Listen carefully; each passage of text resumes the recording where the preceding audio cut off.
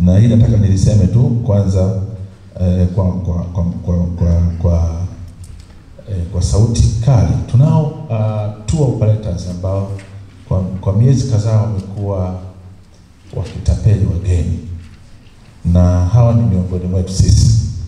Mwezi uliopita tulikuwa na mtu anaitwa Exot Expeditions alilalamikiwa mpaka tukashirikisha mkuu wa mkoa wa Mwanza kumkamata na nini, na alikuwa na watu kutoka Marekani ambao ilitusumbua sana, lakini juzi tena imetokea hii aliyosema mheshimiwa katibu mkuu.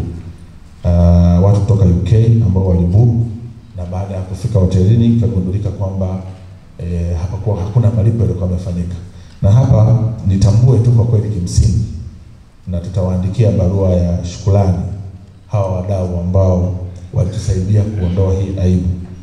E, wapo wadau waliosaidia Alteza County Lemala, Arusha Hotel, Makasa Tanzania Safari, Tanapa Ngorongoro, Isaitoki Camp na Ono Meru Camp, Air Excel, TWC e, pamoja na kwa ujumla wao wakiwa organized na tatu.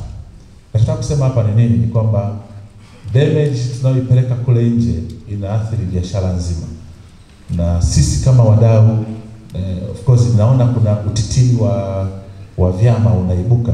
Sina uhakika baadaye kama tutaweza kucoordinate sawa sawa, maana lazima kadri vyama vingi vingi vingi vinavyokuja, mnatupa kazi pia ya kuona ni chama gani hasa naweza kufanya, lakini sina tatizo na hilo. Mimi nisema nyinyi mtumie eh, uhuru huu wa kibiashara ambao tunao kufanya biashara halali na kuwa na kuwa kuwatambua.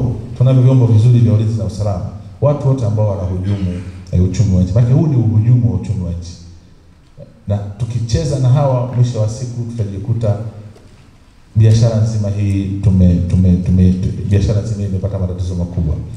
Kwa sababu huyu anayefanya leo, message inayokwenda ni ya kuto kumwamini mtu yote. Lakini tumefanya nini kwenye wizara kwenye jambo hili? Kwanza tumegundua kwamba uh, mostly tour operators kwenye level ya wizara wako unregulated, yani ni mtu anaweza kuanzisha leo akaingia. Tumeelekeza kwamba sasa tutafungua website maalum ya kuwatambua tour operators wote wa nchi nzima kwa katika ile website. Kwa mtu anataka kuja Tanzania akitaka kufanya chochote ataingia, atakuta ile orodha mle ndani, lakini tutawapa identity ambayo itawawezesha pia kutambua e, aina ya malipo ambayo wamefanyiwa, na tumekubaliana, nafikiri katibu mkuu, mchakato huo unaelekea mwishoni.